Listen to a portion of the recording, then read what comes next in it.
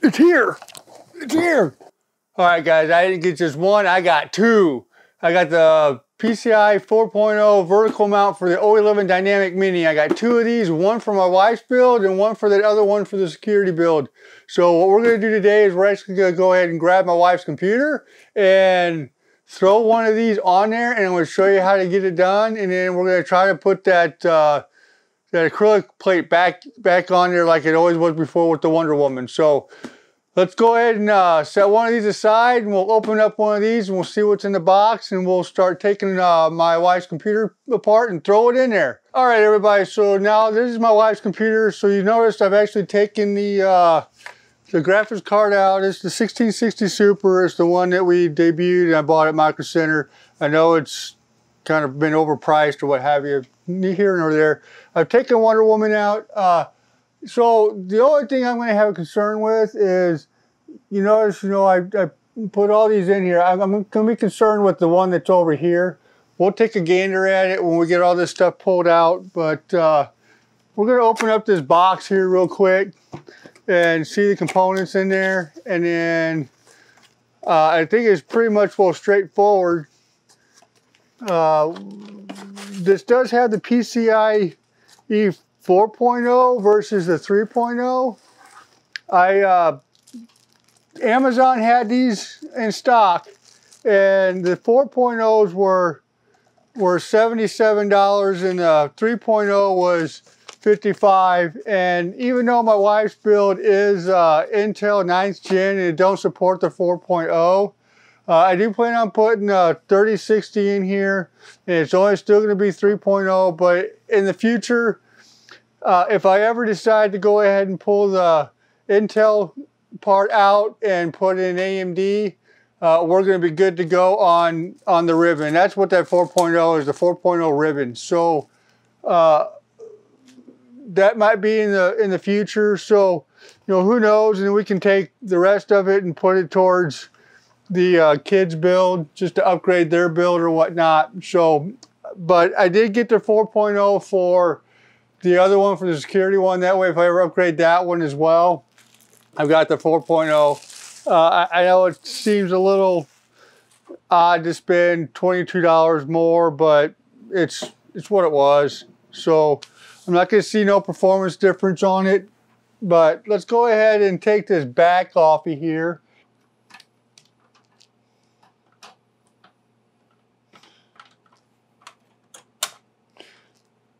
All right, as you can tell, uh, the plate comes off pretty good with the AI, sh AI show.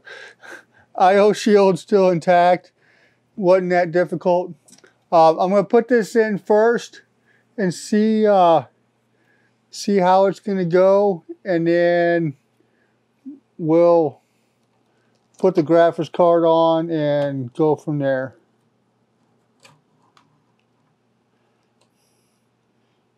See how much room. So I'm going to have enough for this one slot here. Um, so you see this here, this little bar here that holds my acrylic on. I'm having a feeling it might be in the way and actually the, the mount for the bottom. I might have to extend this one or extend them all actually longer. Let's take a look. Now, I don't know if you guys can see this or not, but you've got these tabs right here. Okay, there's there's four of them. One here, here, here. They actually going to go inside of the the case right there and snap in place. So I'm going to actually attempt to do this, mount this in, and then put the card in afterwards. See if that works. The biggest part of this tab here is going to be the hardest part because the I.O. shield to get in there. But it will go because we just had it once before.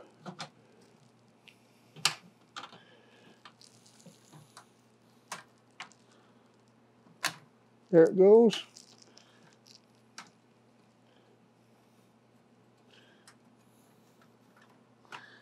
Tighten these up.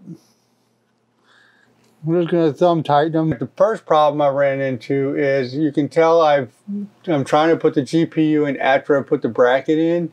Uh, I will tell you that's the way you have to do it. Uh, and my other videos on these GPU brackets, we've we put the graphics card on first and then put it in the case. But with this particular bracket, you have to do the the bracket first and then the, the card. But the problem I was having was the tabs on the card would not go into the slot.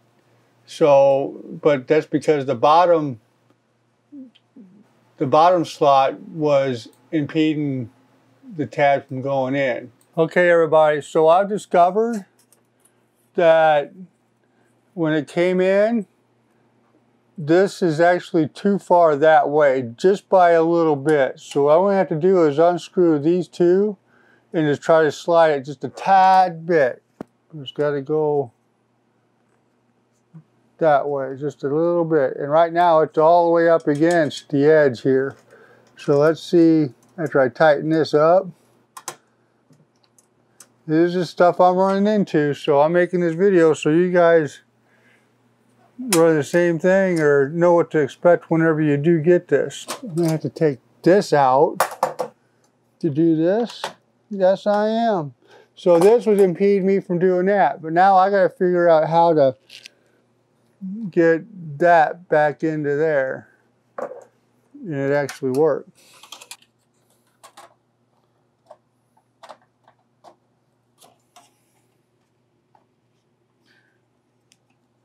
Mm, there it went.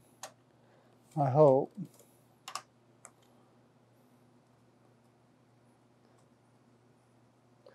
I hope, I hope, I hope.